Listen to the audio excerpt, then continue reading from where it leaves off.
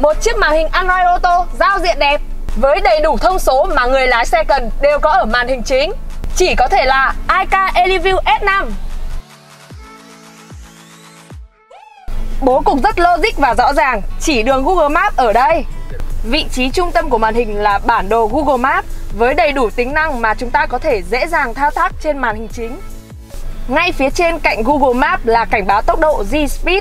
Chỉ cần đi quá tốc độ thì phần mềm G-Speed sẽ cảnh báo ngay cho chúng ta. Bạn đã đi quá tốc độ giới hạn.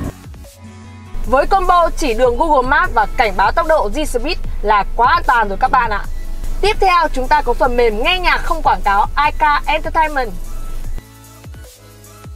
Bố trí các tab rất khoa học, dễ dàng cho người sử dụng.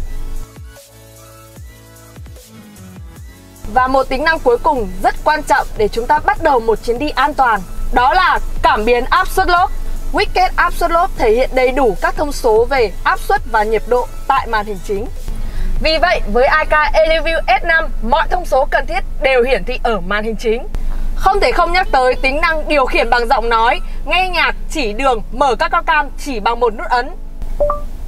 Mở camera phải. Cấu hình S5 mạnh mẽ, RAM lên tới 8GB, độ phân giải màn hình lên tới 2K, bộ chỉnh âm DSP chuyên biệt cho chất lượng âm thanh đỉnh cao. Camera 360 độ hiển thị sắc nét đa dạng các góc cam. Màn hình duy nhất trên thị trường chạy Android 12 Mua ngay hôm nay để nhận gói quà tặng lên tới 6 triệu 320 nghìn đồng. Màn hình Android iK Eleview giao diện đẹp chắc chắn không làm bạn thất vọng. Mua ngay hôm nay.